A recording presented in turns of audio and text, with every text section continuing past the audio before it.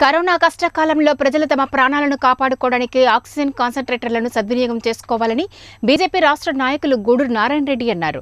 ప్రధానమంత్రిగా నరేంద్ర మోడీ ఏడు సంవత్సరాలు పూర్తి చేసుకున్న సందర్భంగా వాయుమిత్ర సేవ హీ సంఘటన కార్యక్రమంలో భాగంగా యాదాద్రి భువనగిరి జిల్లా వలిగొండ మండల కేంద్రంలో బీజేపీ రాష్ట్ర నాయకులు గూడూరు నారాయణ రెడ్డి ఆయన చిన్ననాటి మిత్రుని కూతురు ప్రవాస భారతీయురాలు అట్లూరి ఉమా సహకారంతో ఆక్సిజన్ కాన్సన్ట్రేటర్లను నారాయణ రెడ్డి ఫౌండేషన్ ద్వారా బీజేపీ సీనియర్ నాయకులు బోళ్ళ సుదర్శన్ కు గూడూరు నారాయణ రెడ్డి అందజేశారు.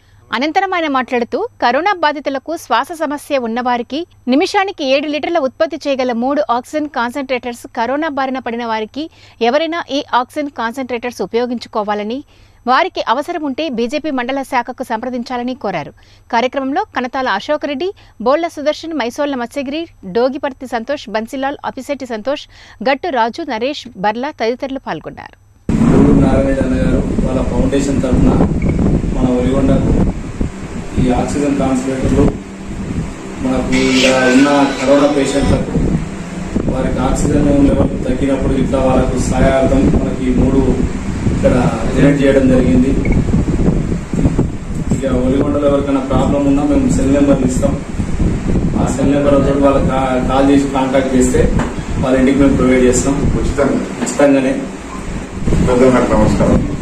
ఈరోజు పులిగొండ మండలానికి గూడూరు నారాయణ రెడ్డి ఫౌండేషన్ ద్వారా నా చిన్ననాటి మిత్రులైనటువంటి అట్లూరి చలపతి వాళ్ళ కూతురు అట్లూరి ఉమా అమెరికా నుంచి భువనగిరి నియోజకవర్గానికి ఆక్సిజన్ కాన్సన్ట్రేటర్లు మా ఫౌండేషన్ పంపడం జరిగింది.